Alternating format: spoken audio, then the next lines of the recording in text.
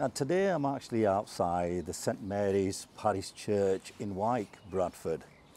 And two minutes down the road we had a brutal murder of a young girl in May 1981. Now to give you a bit of a timeline, 2nd of January 1981 the Yorkshire Ripper was finally caught. It was supposed to be a new dawn, a new beginning for Bradford.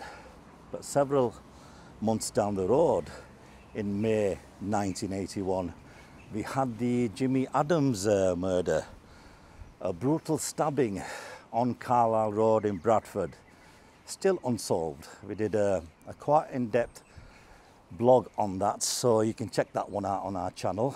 But today, we are going to talk about this young girl who was actually murdered several days after the Jimmy Adams murder. So a bit of a bad year that was. Shortly, I'm just going to meet Mark down the road who will be waiting for me at the scene of the crime. The story I'm about to tell um, has its origins here on St Mary's Mount in Wyke. It was 1981, Sunday the 31st of May to be more precise, and a family lived here at that time called the Hamiltons.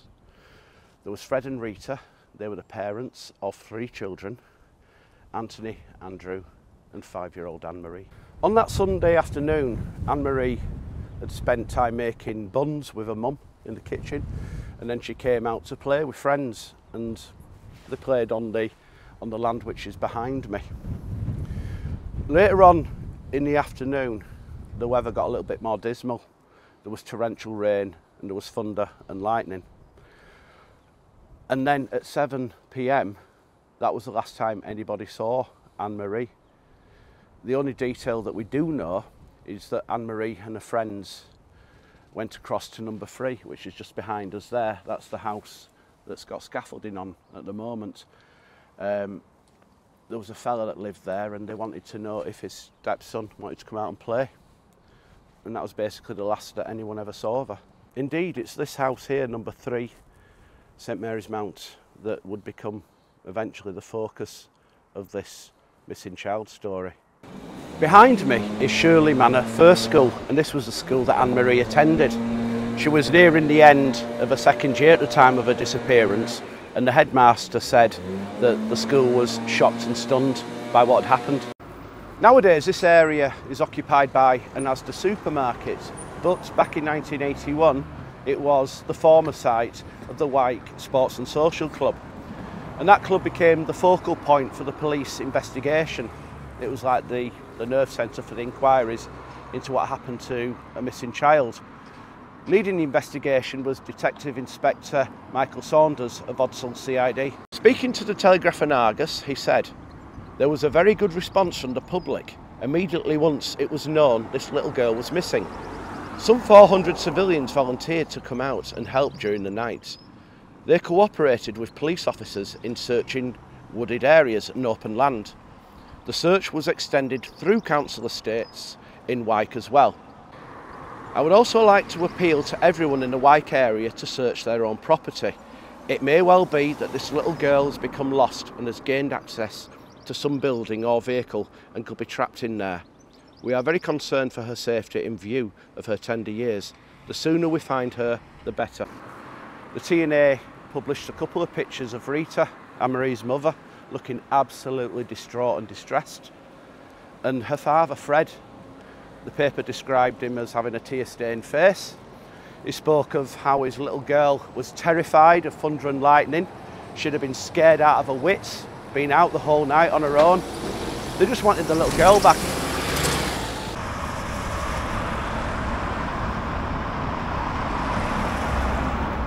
In the days that followed the disappearance, hundreds of local people helped the police with the search. There was about 90 police officers also involved, so it was quite a huge operation. And then on day four, which will have been the Wednesday, Wednesday the 3rd of June, a discovery was made in this area, which is now the Low Moor Industrial Estate. A new road was being laid at that time and one of the workmen who was about to cover it with concrete discovered that the foundations of the road had been tampered with. Some of the stones didn't look right, they'd been unsettled. And he did a little bit of an excavation, and that's where he found the remains of Ann Marie. Ann Marie's body was found only three inches or so below the surface of the hardcore road foundation. She was partially clothed, and there was bruises to her face, head, arms, and neck. The discovery made it to the Telegraph and Argus front page and they described it as a million to one chance. Detective Superintendent Stainthorpe said, if we'd searched this area, the odds are that we would not have found the body. It is such an isolated spot that the likelihood is that the person responsible for burying the body had a good deal of local knowledge. The Telegraph and Argus reporter went on to say that the road could have covered the girl's body for years and hidden the appalling truth of her tragic disappearance from her family. So following the discovery of Ann-Marie's body, it was taken away, but this area became a hive of activity throughout the rest of that Wednesday. And later on in the afternoon, just behind me, you can make out the embankment that's overlooking the current Low Moor station. There was a gentleman sat on that embankment looking over here and by all intents and purposes he looked distressed to the point of being suspicious. And one of the policemen that actually worked at Low Moor station approached him and asked him if everything was okay. The man broke down and actually confessed to the murder of Ann-Marie Hamilton. And that man was Anthony Pattison the father of the stepson across the road. Anthony Pattison had actually struck when Ann Marie and her friends called at his house to ask if his stepson could come to play out. When the other children had left, that's when Pattison took the girl. He took her up to his bedroom and he attempted to rape her. Pattison told the police in a statement the following I held her tightly to me and she was making noises. I knew I had gone too far. I didn't know what to do. I was in a panic. I knew I would have to kill her. I put a belt round her neck, then I pulled it tight with my hands. Then I knelt over her and pushed her head forward. I do not know how long I stayed like that. I stayed till she was quiet, and then I knew she was dead. I saw a shopping bag on the stairs and I got it, and I put her into it. Then I took her downstairs. Following his confession, Anthony Pattison was arrested and he was charged with murder. So the day started off with a murder hunt and within a few hours the police had got their man. So why did Pattison choose this rather remote part of Low Moor, formerly known as New Biggin, as the ideal place to dump a body? Well, he'd driven here in his car with little Ann-Marie still in that bag and his explanation to the police was as cowardly as it was callous. He said, I took her out of the bag and put her in a dip in the road. I just wanted her covering up so I could not see her and no one would find her.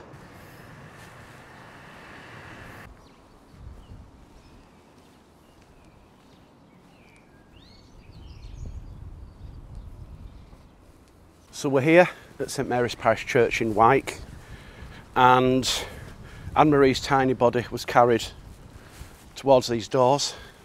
It was reported that there was hundreds of local people here to attend the funeral. And there was actually so many people that they all couldn't be accommodated inside the church.